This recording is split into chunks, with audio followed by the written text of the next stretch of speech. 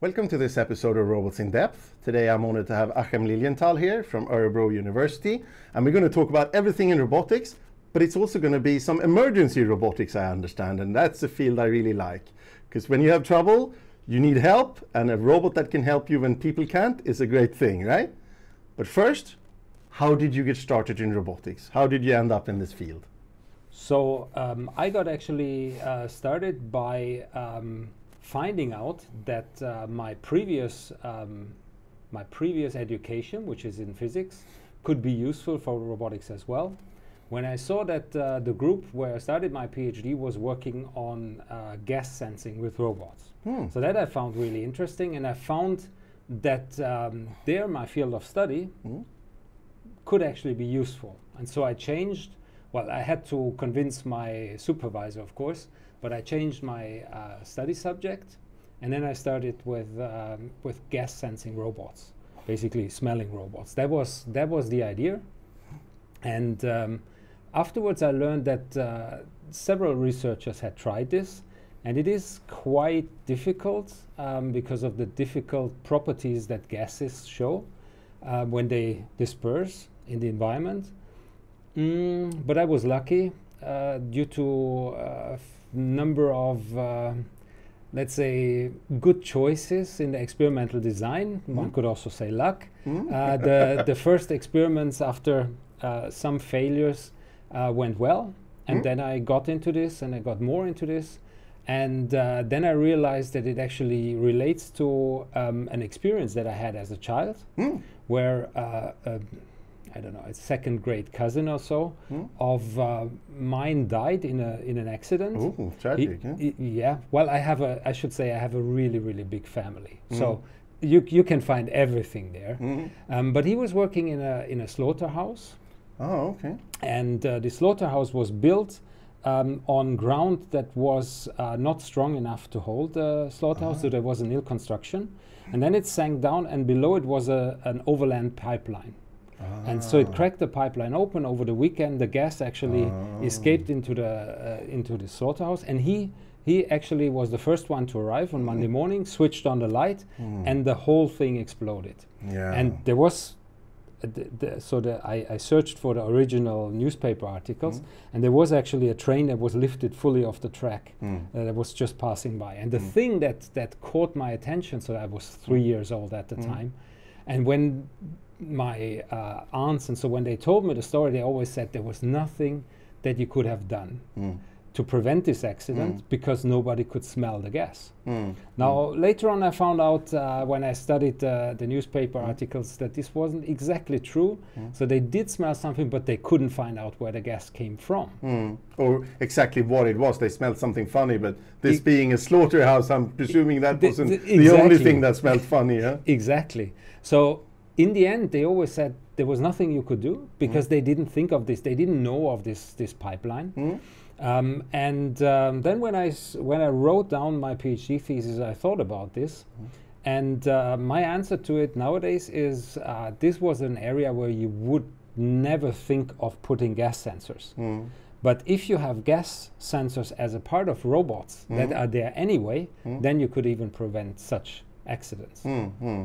And, and, and, and gases are reasonably uh, common. So, I mean, uh, this is a big problem, right? Yeah. So, did you design the gas sensor or did you integrate it in a robot or how, what did you work on? So now, now we're actually uh, driving into the direction of this project that we want to talk about because um, when I started this as a PhD student, uh, we used sensors that are that you can actually buy, uh, so commercial sensors, and they are designed for laboratory situations. So you take them and you um, you actually expose them to gas in a very controlled way. So the gas has to be kept at very stable uh, temperature. You have to make sure that the uh, humidity doesn't change a lot, and you should actually also make sure that uh, the flow of the gas past the sensor is roughly constant. And now you take those sensors out of those situations and try them on a robot, which are obviously has to introduce a number of uh, additional difficulties that you have to overcome. And one of the key diffi- difficulties is that the sensors react very slowly. Hmm.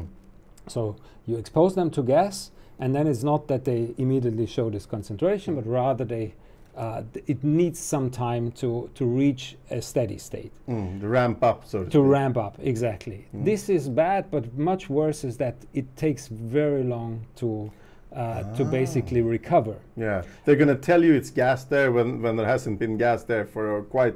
Are, are we talking seconds or minutes? Or we are talking minutes. Or, oh. So we are talking uh, seconds, tens of seconds in the re uh, response, mm. and then tens of seconds to hundreds of seconds in mm. recovery. So what it means is that they always tell you something also about the history of gas you have been exposed to. Mm. And since then, it was always um, in my mind that we have those sensors with, with some limitations for robots, mm. uh, for robotics. Mm. And um, therefore, I wanted to also uh, continue to work or improve the sensors. Now, mm. we are not working, we are not a group that works on the hardware, mm. but SmokeBot was the first program, uh, was the first project, sorry, in which there was a partner.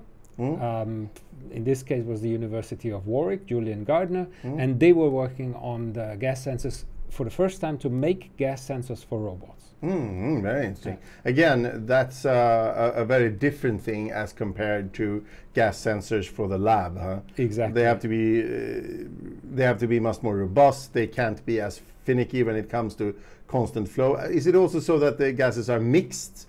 The gases uh, are also mixed with with first and foremost the atmosphere, and then wherever. So there, there are two aspects in this. One of the key improvements there was that um, our partner tried to improve the response time, mm. basically the speed with which the robot mm. responds and recovers. Mm. Um, and the second thing is, uh, which, which also describes the general setting of this, this project, is that we had new hardware available, mm. but we also worked on the software mm. to deal with those new sensors and also deal with uh, the existing sensors in a way um, that we, for example, address these mixed gas situations. Mm. Uh, so we developed, uh, especially in Örebro, we developed an approach mm. with which you can sense gases that you haven't been trained to before. Ah. One of the key limitations that we have is uh, that when we want to design a robot mm. uh, for, let's say, a gas task, mm. we should know which gas, of course, the mm. robot should send, mm. uh, should should sense. Mm. But we should also know which other gases are present, so that it doesn't get um, disturbed by the presence of those gases. Mm. Now this is this is a very tough assumption mm. because in which area do you know about all the possible gases that no. you could come by? Mm. And therefore we developed a uh, this is all machine learning hmm. basically, and therefore we developed a machine learning approach that can deal with unknown gases, hmm. and then that finds out okay well this smells like something I have smelled before without knowing what it is mm, and mm. without knowing the exact number of gases. Yeah, it just finds gas one, two, and three, and three it recognizes as uh, as as as, ga- uh, as, a petrol gas. Exactly. And, and, how does it handle vapors and stuff? Is that also? I mean, gasoline, for instance, gives off flammable vapors. Yeah. Those are not gases, I understand, right? Yeah, uh, we also had. Um, we, we also sometimes saw reactions to the to the smoke that we yeah, created. well, that was my next question. Yeah. because um, smoke is it, it, it's not a vapor. It's not really a gas, right? It's suspended particles, right? Yeah. Well, th this is a tricky question because there are many different ways in which yes. you can detect gases. Some of them will respond, some of them will not. One of the sensor that is used most often, one of the class of mm-hmm. sensors that is used most, most often in robotics, um, shows something or carries out something like an oxidation reaction. So it's, it's basically burning on the surface. Mm. And depending on what gas is around, this works better or worse. Mm. That actually then is translated into a change of resistance. Mm. And then you have different such sensors, and the fingerprint of the reaction mm. tells you then something about um, the identity of the gas mm. and how much of it you have there. Mm. Um, and with this signal, you have to work.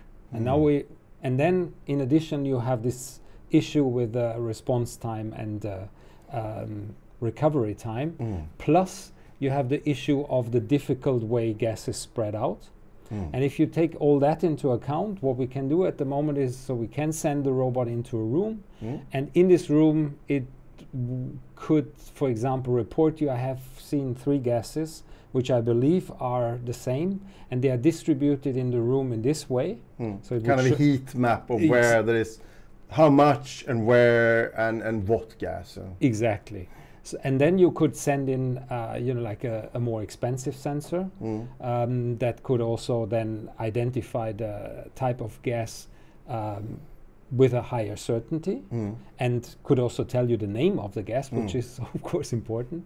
But you could already guide such a maybe second robot or a person by saying, well, here is seems the concentration is really high, or mm. here we have a high probability that you can actually measure the gas. Mm. Yeah, okay, very interesting. Very interesting. Mm. So you, you you put this sensor on a robot and send it into a potentially dangerous area, a fire, an emergency of some Exactly. kind. Can you talk a little bit about the robot hardware, just so that there, Yeah. that's not your project, right?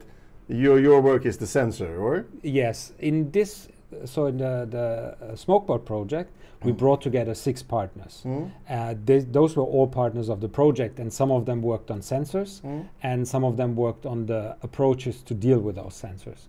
Now, I think the, the key sensors that are different from other robotics projects that we had were was this uh, new um, electronic nose, it's called, so new gas sensors. Um, but very importantly, because we send the robot into an environment where there's smoke, and that's usually the end of using a robot, because what sensor can you use there? You can't use a camera. This just shows smoke. Yeah. and you also can't use uh, a laser scanner uh, because laser is also absorbed reflected by the smoke. uh. Exactly. So what you see is actually a small circle around uh, the robot, which is depending on the thickness of the smoke, is maybe a bit wider if it's if it's not as thick, and maybe a bit closer if if it's thicker. But that doesn't tell you anything. Mm. So we needed a sensor that can actually work also when there is very low li- uh, visibility. And uh, for that, we teamed up with a partner in uh, Germany, Mm. which is the Fraunhofer Institute in Wachtberg. Mm. And they have, uh, I don't know, actually, I hope I don't say anything wrong, but at least 50 years of experience with radar. Yeah. And yeah. so, what we had on top of the robot is the first step in a development that we did there, which is a is a is a radar that actually moves like this Mm. and gives uh, 2D um, information. Because it can go through the the smoke and and, and, and, the, the situation it can work in the situation of a fire Exactly. So Mm. with all the smoke we have tested so far, Mm.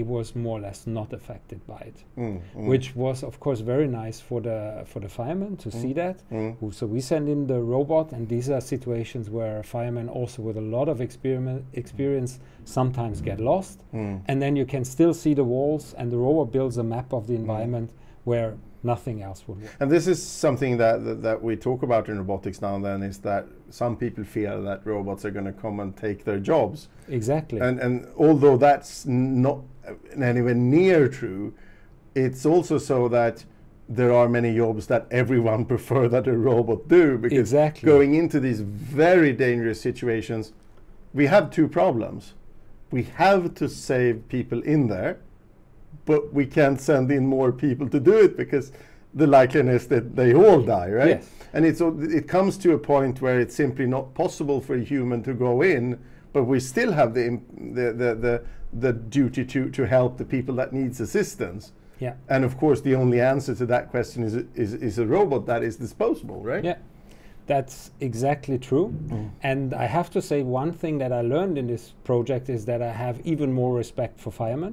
yes they Be- do a dangerous job they do a dangerous job, and and uh, we discussed about different situations. And at the moment, we have a robot that is on tracks, Mm. uh, and therefore is limited in speed. Mm? And so what we are talking about are situations where there is enough time, Mm. and the firemen just say, you know, no matter how dangerous it is, Mm. well, of course, if it, if it's clear that the building will collapse, then Mm. that's maybe an exceptional situation. But we go in. If there's not enough time, then we go in, Mm. and um, well, that's very impressive. I've, I've heard that also from other rescue robotic work, the, the people that work with rescue robotics, is that we can't accommodate the robot in this process we need to save these people. Yeah. And as long as the risk is anywhere near acceptable, we have to do that quickly. And I think I've understood that that leads to a testing problem because, for instance, in, in earthquake situations, we want to test our robots, Mm. but we can't do that if we are in the way of Of course. you can. potentially more pr- better performing humans. But we also have to test to develop Yes. our robots, right? So, so that was also something interesting in this project because we had one partner, the fire brigades in Dortmund. Mm. They actually have a test house. Mm. They can set this house on fire Yeah, yeah. Every day, whenever they 10 want. times a day. yes, and uh, it's very it's very interesting. So there's inside there, it's hot and there are flames and there's smoke everywhere. And if something goes wrong, then they have the house cold and smoke free in 50 seconds. Yeah, yeah, It was yeah. So really really interesting. To, to, to, to save any training firefighter in there Yeah. from, from a problem that got out of hand, which I, I, I presume also makes them, gives them the confidence of, of actually pushing Absolutely. and, and testing Yes. things that they think that this might not work because 50 seconds later it's yes, off, right? Yes, yes. Mm. So, so that's uh, that's something that they use heavily for Mm. testing, Mm. and that's of course also something that we could use for testing our robot. Mm, mm. And um, in a sense, you know, like the, I, I'm not so worried about the speed limitation that we Mm. currently have because that's something really currently. We developed um, the technology Mm. so that the robot um, could actually step in for humans Mm. where it's really dangerous. Mm, So, you know, exactly, uh, I fully subscribe to what you said. It's not, our robot is not a job killer Mm. and it's not a killer. It's, it's really something where I, I think there's hardly any debate or can not be a debate about that you want robots there. mm, You mm. really take over a task where you wouldn't want to send a human in. and the task is unavoidable. We we, we have a, an impetus. We have to do it. And- Exactly. And, we and we can't send anybody in to do it. And and fires are a reasonably common situation. We I've talked rescue robotics with with many people, and, and we talk about nuclear accidents or, Yep. or something like that. But those are quite rare. I mean, fires we have every day. And I also know that, for instance, firefighting today face a new challenge, and that is electrical cars. They Mhm. burn and they generate chemicals that firefighters aren't protected against Yeah. with their equipment today. So, and, and cars are usually parked in garages, which Yeah. is then then you have all the problem of, of, of entering a confined space Yeah. with potential smoke, with potential explosions, very toxical chemicals Yeah. uh, that could easily kill you uh, and go straight through the clothing. Even the firefighters stick clothing straight through. Um, and to the extent that we want to say value is one thing we could just let it burn and take care of it when it's done that could lead to environmental problems Yeah. but it but we also have to be sure that there's no people in there Yeah. right uh, and and then of course in this case the only answer is is a robot right Yes, I, Um, of course I would say so. and but I, yeah, I, I think that would also be a common answer to it. You know. yes uh, no sane person would come to the conclusion let's send, the, send in a person right Yeah. it doesn't matter if they You- die tomorrow Yeah, right? yeah, you wouldn't want that. Yeah. No, absolutely not. No. And I see it like that. That the technology that we develop, Mm. we have developed on uh, this robot with tracks that is Mm. basically moving on the ground. Mhm.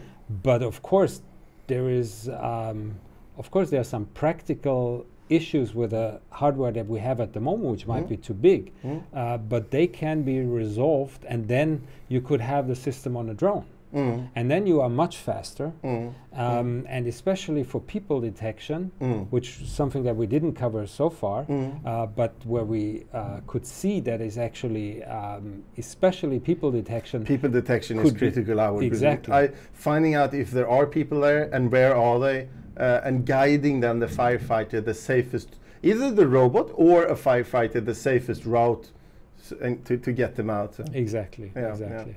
Uh, and I guess the speed is more or less the current hardware platform. I mean, even a tracked vehicle could easily go 50, 60 miles an hour. Of course. Of- but you have to design it differently. Uh, one thing I thought about here is that you probably don't need to deploy this robot for a very long time. A regular house fire is probably over in half an hour from the time that the firefighters arrive at the scene. So even though it's run on a battery, it actually isn't a huge issue, right? It shouldn't be. We had actually as requirement that it should have one hour of battery time. Yeah, yeah, yeah. Um, and within this time, it should return safely. Mm.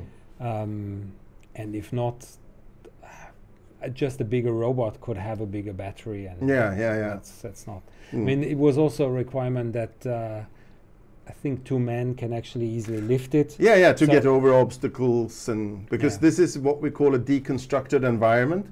I mean, you we live our lives in a constructed environment. Yeah. Staircases go up and down, and floors are horizontal. Uh, if we're talking about nuclear accidents or accidents on ships, Yeah. suddenly you got the stairs on the walls, and the walls are stairs, and, and, and everything becomes a very strange place. Yeah. And a fire i- is also a deconstructed environment. Yeah. So, so you have to be very adaptable. Huh? Yes, you you would uh, for sure expect that not everything is as as it otherwise looks like. Mm. Um, still, sometimes it could be that you see some basic structures Yeah, of of, the environment, Mm. and uh, we, for example, in this project also worked on an approach where uh, a fireman Mm. could uh, either just draw a sketch of the environment Mm. or take an emergency map Mm. and then point the robot to Ah, a place where it should and say, get "Go there." there. And then the robot, Mm. uh, when it is inside, with uh, the measurements, for example, from the from the radar, Mm. uh, builds its own map and tries to find out what the operator meant. Mm. And that's not so simple as it sounds because, first of all, even the emergency maps are often wrong in scale Mhm. and, and wrong in you know like the, the details. Mhm. And then of course you have this situation where which you call deconstructed, you know, Mhm. where there is a lot of irregularities Mm. or differences, and then you have all the uh, furniture, for example, Mhm. which is not in the No. in the map Mm. and therefore that's that's pretty pretty difficult but on the other hand it helps in two things it helps in the communication Mm. where the operator tells the robot go to this place Mm. Mm. and it also helps when the robot loses connection Mm. and then plans a path back and maybe a door closed and then it knows it could know from this map where there's maybe an alternative path So, so we're now looking at this prototype. We're learning how to navigate in smoke. We're learning how to detect what kind of gases are here. Is this building going to say kaboom? Uh, and I've heard about other uh, gas explosion, uh, and they were building um, uh, a, fo- uh, a bomb shelter. i- As it was supposed to be the foundation of a multi-story building, and they put on heaters for the concrete over the winter. okay But the flame went out, but the gas was on Ooh. and uh, this was a finished concrete, like meter thick concrete bomb shelter. Yeah. But when they came in, they turned on the electricity. Uh, where they were, had their clothing and other things like that, but it also turned in on the, the electricity on the building site, so everything went up, but there were no people in there. okay oh good luck But they didn't find a single piece of concrete. So I mean, meter thick concrete was just blown away oh so I mean, the forces there are unbelievable. yes, yes. Um, and and to get in there and to do this work is is, is just mind-boggling. Yeah. Um, we then we have the sensor. We can Yeah. navigate. Can we also address the problem? Can we pick up people? Can we uh, can we determine if a person is alive or dead? yeah Can we maybe try to suppress the fire? Okay, many questions. um, so, and and even one before, Mm. which was detecting gases Mm. and detecting risks of explosions. That's not exactly the same. No, no. So we have in this project we have looked at um, a data structure that collects all the information Hmm? and then tries to infer from all the information whether there's a, a risk of explosion. Mm. So, for example, where there is a lot of gas Mm. of a certain type and high temperatures. Mm, So that is something that we addressed. Mm. Then detecting uh, people and discovering whether they are alive. This is something that we want to do in future projects. This is um, very important. uh, something that we discussed a lot during the project, but the money was not for that. But you think that that would be a tractable problem? You think that given enough resources, we could, even in this very dangerous, uh, very difficult environment, Absolutely. detect that a person is dead or alive? Because of course, we want to focus our efforts, uh, our uh, rescue efforts, on the people with the best prognosis. Otherwise, we, uh, we might not save anybody, right? No, exactly. This is something we must do. Mm, mm, mm. Again, a very strong, very strong argument for doing Yeah, something. yeah, yeah. Yeah, saving life is probably the, the most significant thing we can do, right? Absolutely. Um, then there was the question of manipulation. Yes. Can we do something? Can Yeah. we help the people? Mm. And that's harder. So um, robots that uh, manipulate, um, you know, like um, or how do you say that? Deformable object. You know, This Mhm. is not uh, politically correct to call a human a deformable object. It's a object. soft object. Soft Yeah. object, yes, Mm. exactly. I know that that's a very challenging problem. And this is a very challenging Mm. problem. Uh, you would have to have probably a bigger robot Mm. for that. Um, and simply, you would need at least two such projects. Mm. So, in this project, we only looked at the robot as an explorer. Uh, but we have, for example, uh, an ongoing uh, European Union project which looks at robots that unload goods from shelves with Mm. two arms. Mm. Um, and there we studied a manipulation Mm. um, problem more Mm. um, until it really reaches um, a robot. I think a robot in, in such disaster scenarios. I wouldn't predict this for the next five years. Uh, this is going to sound macabre, but we might also be trying to pick up a deconstructed human. Yeah. They might be hurt. Yeah. I mean, if we know that you're perfectly like you are, we could just grab you by the foot or the arm and just. yeah. I mean, it's better to try to pull you out than to just leave you there, right? yeah. If the robot grabs your arm and pulls you out, Yeah. we, we'll deal with the scratches later. Yeah. But if your arm or if you're seriously hurt, we might do further damage. Yes. And we, we then have to evaluate your you- how are you hurt and how can we help you while still minimizing the risk of harming you further, right? Yeah. We Well- might be forced to harm you further because Yeah. it's better to harm you and get you out than Yeah. not harm you. Yeah. Very hard questions. you have to make these decisions every day, right? In many accidents, Yeah. is uh, how you actually uh, arrange the transport of Mm. a person, Mm, mm, and um, that very much, as far as I know, Mm. um, is uh, relies on the experience of doctors and, Mm. and of uh, paramedics. mm, mm. Um, and I don't. but we can't put those in that situation. exactly, Mm, exactly. mm, that very- that I don't see. Um, to be achieved in the near future, Mm. and um, that's also not something that would directly lend itself to uh, AI, as we call machine learning these days. So that is not something that will happen soon. We will have to deal with other problems first. Mm, mm, and mm. if we can already uh, help human Mm. uh, rescue uh, Mm. stuff Mm. by pointing out here is where you should go, Mm, mm. um, by also and helping this is the route you should go. this is the route you should take. Here is not dangerous. Mm. Here is a person, and here you should really Mm. uh, speed up. Mm. This person is unfortunately um, already dead, so Mm. we, we cannot help there. That's that's actually where a robot can be useful. Yeah, very very nice. Uh, and i i what I mean, you've been working on one robot here, but Yep. what we could potentially do, of course, is to have quite a number of these robots. And when the firefighters arrive, they just let them loose, Yep. and robot the robots uh, pack basically Yeah. works together with the firefighters of uh, going maybe ahead of them and saying this is too dangerous for you i'll do it Yeah. but that also frees up the firefighter to do to work in other areas Yes. w- where it's safe-ish and, and, and, and they could explore that area and be more directly relating to any people they can find there huh? Yeah, absolutely. The goal will always be uh, to um, ensure safety of the humans, Mm. um, but also to uh, reduce their cognitive load.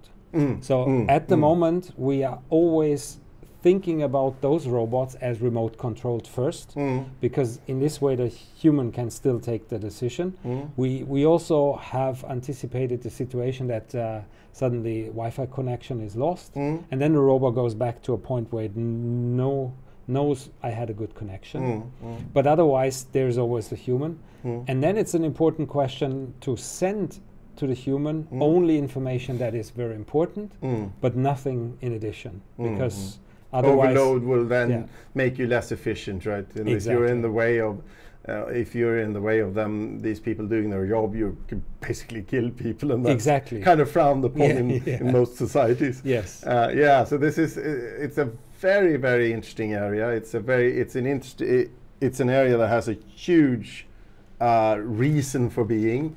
Um, but it also has a number of technical challenges, but also a number of moral challenges. How do we test them in a real life scenario when they might be inferior to another one?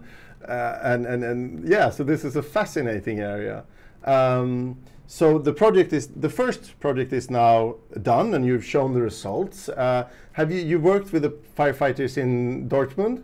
Yes. Uh, have you also been to any proper house fires and, and actually uh, used it, so to say, in, in anger, or in this case, in, in, in, in the rescue scenario? Actually, um, one particular uh, scenario that we discussed and that we also try to detect with the robot Mm. that there is danger of is a so-called rollover, Mm. and that's um, when uh, the fire is heating up uh, the the air and the Mm. smoke, Mm. And then suddenly the smoke is uh, so hot that it also starts to burn, Mm. and that's actually a moment in which suddenly everything around you is Mm. burning. Mm. Mm. And the fire brigades showed me that while I was in the room. Mm. Mm. And they didn't tell me much. They just said, um, I think this this was kind of a, a ritual. Mm. Uh, they told me now it's you now you should uh, go down, Mm. Mr. Lilienthal, on the knees, Mm. and if it gets really hot on your head, Mm. Just one advice: don't stand up. and then they counted five. Yes, exactly. Yeah, yeah, And yeah. and that's that I think they uh, they also did in order to show. What's the, the work of those Mm. uh, firemen? This and the, the, the environment and the, f- the challenges they face. uh, yes. uh, Yeah. Kind of brings it home in a very, very, Yeah. very, very concrete way, right? Absolutely. I was impressed. Yeah, yeah, yeah, yeah. So where do you see? The, I mean, I hope we, we certainly hope that you can continue this project and develop it. Where do you see you taking this from now on? Right? So th- there, uh, from the technology that, that we developed, there are lots of, of small strings that we will uh, continue. Mhm. Um, with respect to the system as a whole, Mhm. uh, I think the most important further developments would be first uh, with respect to the actual application. So Mhm. robots that have fire brigades would be what we already discussed: detection of people Mm. and bringing it on uh, something that moves fast, like a Mm. drone. Mm. I think this is from the perspective of uh, the application. Mm. These are two very natural new steps. Mm. Mm. Um, then um, we also saw this project as a milestone Mm. because it enables now robots to act in low visibility scenarios. And those low visibility scenarios can also be in, in other situations, not just in fires. Mm. There can also be so m- much dust Mm. that you can't regularly use a robot. Mm. Mm. And that's something that we can do now as well. Mm. Mm. And the key sensor there is the radar sensor. Mm. Now, what I mentioned before is that we have this radar that um, is spinning Mm. and that works very similar to a, um, a laser scanner. Mm. So we can almost exchange them. Mm. Um, but it's only 2D. Mm. And during the project, we developed something uh, that we called a radar camera. Mm. So that's, um, it actually looks like a half circle Mm. and it has 24 emitters and 24 receivers. Um, and with this, you can actually get 3D uh, information Mm. in a single shot. Uh, so Mm. it's in this way, it's more like a camera. Mm. But the resolution then is, is lower, right? The resolution is lower, and it's actually not so easy to talk about resolution or frames at all. Mm. So the principles are different, Mm. and uh, so it's also what you see. So, for example, a wall, Mm. Which is simple, Mm. it's really simple for uh, when you use a laser scanner, Mm. but the wall can be very difficult for the radar Mm. because if it's not rough enough, you don't see it. Ah, yes. If it's very, if it's very smooth, Yes. like glass or Exactly. Then it's like you know, it's being reflected, and then you don't see it. Ah, yeah, yeah, yeah, and, yeah. and there are other um, special features of this sensor, Mhm. and at the same time, it has a huge potential for robots. Mm. So one thing that we want to do also is to um, to work towards bringing radar as a standard sensor to robots. Oh, yeah, that would be cool. And this is not just introducing the, the sensor, but we actually in this in this period of the three and a half years in this project, we had a wonderful multi. Um, um, multi-dimensional um, experience hmm? with people working, you know, in physics, in chemistry, and so on. Hmm? And this um, communication between us from robotics and the people from uh, physics, hmm? basically dealing with radar, has led us to a, a number of questions where we know we have to address them in order to bring the sensor as a standard sensor that you m- use more or less out of the package in the robotics community. And that's also something that we want to do in the future. Yeah, and that would of course be a spin-off from the from the smoke bot. It just something you needed, you developed it, and of course it has a huge application everywhere. Uh, any new sensor we get just gives us so much more capabilities, right? Hmm. But but there is actually that the sensor gives you a lot of capabilities, but it also requires something from you. So you need more understanding of this sensor than you need of a camera. Mm, mm, Um, and it's actually the same with the gas sensors. mm. And we've been working on the camera for a very long time, and then you still have a lot left, Yeah, right? yeah. And here comes a totally new sensor, right? Exactly. Mm. Exactly. I found that I've understood that though that switching from one sensor to another, what is difficult with one sensor is easy with another, and vice versa. So, for instance, ultrasonic sensors are good at glass and transparent, reflective materials. Radar is good when there's kind of maybe snow in the air, or fog, or, or particulate matter in the air. Uh, lidars are good in some situations, and, and cameras are good in others. So if we ha- if we add an additional sensor, we might instead of trying to solve it with a in suit uh, non a, suit, uh, a, a sensor that isn't suitable, we Yeah. can just switch to the suitable sensor, and then, then it, the problem becomes much more Yes. tractable. That's actually also something that uh, we would want to do in the future. It's something that we already thought about in the project. Is that you actually use a laser scanner and the uh, radar at the same time. And uh, when there's lots of smoke, you can't use the lidar, uh, the, the laser scanner. Um, but when there is no smoke at all, then it's it's usually the more uh, accurate sensor. So you would actually have a way to discover whether the, an individual measurement can be used or not of the laser scanner, and in this way combine the two. That's also something that you you could think of, uh, of seeing the two sensors as as one, like combining them. Mm. Fusing the data from uh, from both of them and, Yeah. and, and and using their both the, the relative strengths, right? Yeah, Exactly, yeah. exactly. Very interesting, very interesting. So this has been a fascinating story, and maybe you have some video of the robot that I can cut in here towards the end, so that people can see what we've been talking about. Absolutely, I can show you the video Yeah. in a second. Perfect. Thank you very much for taking the time to do an interview, and I'm sure we're going to follow your work as it goes along. And it, it it's just amazing. If we what we can already do is amazing, and and and solving these many tricky problems is going to be interesting research, and I'm sure society's need for these are are huge. Huh? Thank you very much, Per Thank you.